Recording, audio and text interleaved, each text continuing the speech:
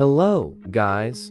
In today's video, I will show you how to AFK grind the robotic claw minigame. Sadly, this method only work on PC, sorry mobile players.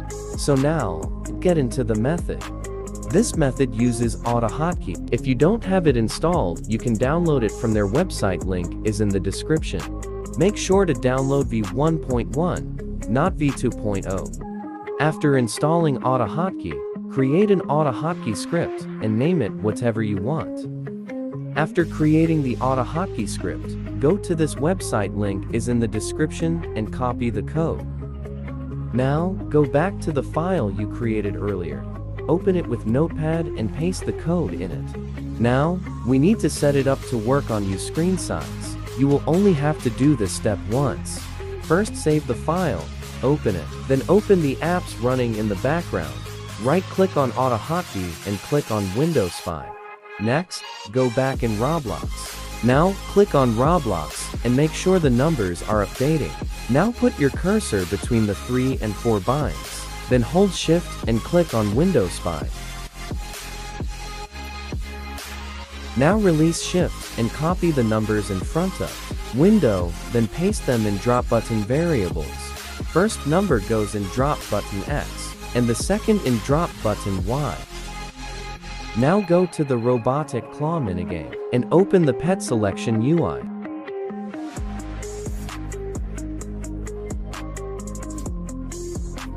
Now put your cursor on the first pet in the menu, then hold shift, click on Window Spy, release shift and copy the numbers in front of window and then paste them in the code in pet to use variables. The first number goes in x, and the second number goes in y. The last variable depends on how you want to use the macro. If you want to only use one ticket or only play the minigame once, set it to 0 and start the macro during the countdown after you start the minigame. If you want to use all your tickets or play the minigame multiple times, then keep its value at 1. For this, you will have to start the macro in front of the robotic claw minigame machine, and it will start it by itself. You can change the value of this variable at any time. After setting the value depending on your use, save the file, then close it. To use the macro, you will need to unequip all your pets, and only equip your pet with Gamer or MLG runes you can create a team to quickly equip it. If you don't have a pet for minigames, you can just use any pet. Also make sure you have the chat and the player leaderboard hidden as they can confuse the macro. After doing all the previous steps, save the macro file and reload it.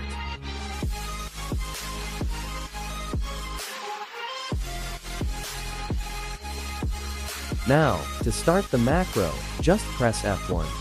If you want to stop it, press F1 again.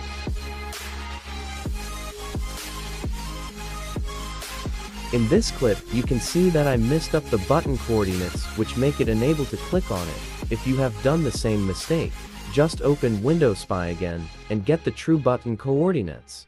Don't forget to click on Roblox and make sure the numbers are updating then hold shift and only release it after clicking on Windows Spy.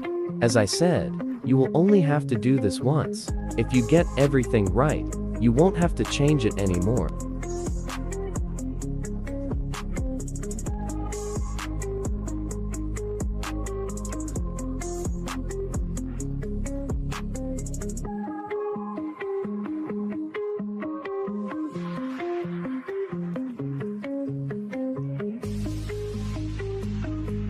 Don't forget to save and reload the macro.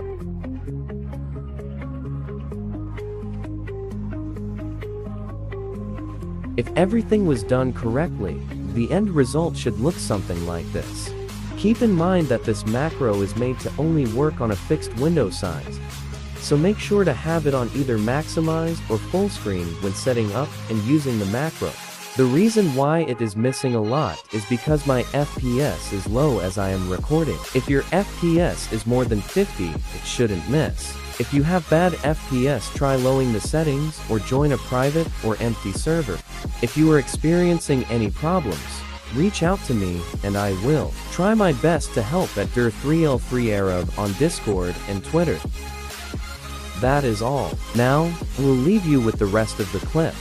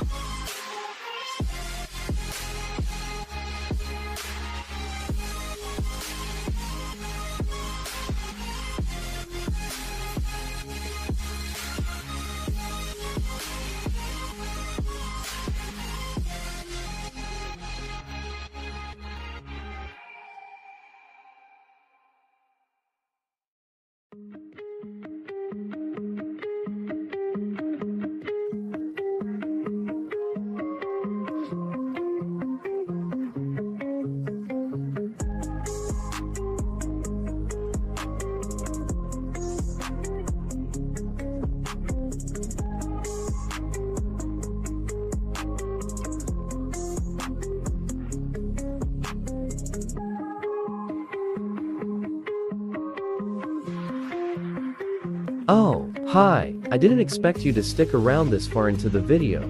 Thank you so much for watching the whole video. It means a lot to me.